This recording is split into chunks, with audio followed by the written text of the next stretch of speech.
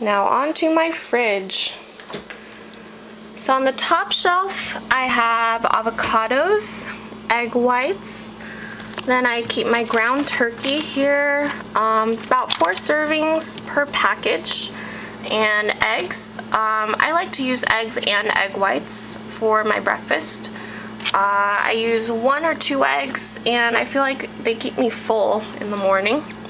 And egg whites are also kind of bland, so just having even one egg uh, with three or four egg whites definitely gives you more flavor and texture. And eggs are really nutritious, so I don't believe in cutting eggs out. Um, I have a big bag of spinach. I like to make omelets with spinach or even just eat it as salad um, straight out of the bag with some rinsing. Sometimes um, you might find some particles. So I also like to use almond milk in my coffee. Um, I get the unsweetened kind. So I'll use some almond milk and sweetener if I'm feeling like I'm kind of sick of black coffee.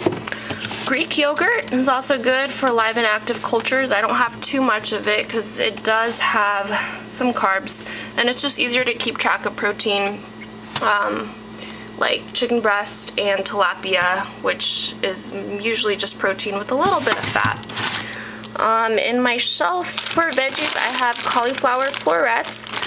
Um, you can do all kinds of things with cauliflower. You can make mashed potato, you can make nuggets even, so lots of things there. Broccoli is also really good. I have broccoli pretty much every day, and asparagus too.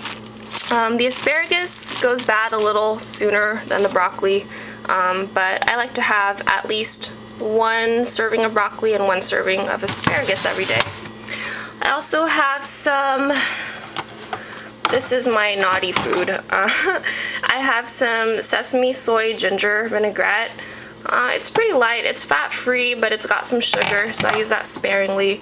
And then I also like to use lemon juice. I'll use that in tea, or I'll use that um, to flavor my chicken. And this is just some soy sauce um, from an Asian market that my mom gave me as a going away present. And behold, all natural peanut butter, my kryptonite, and that's all that's in my fridge.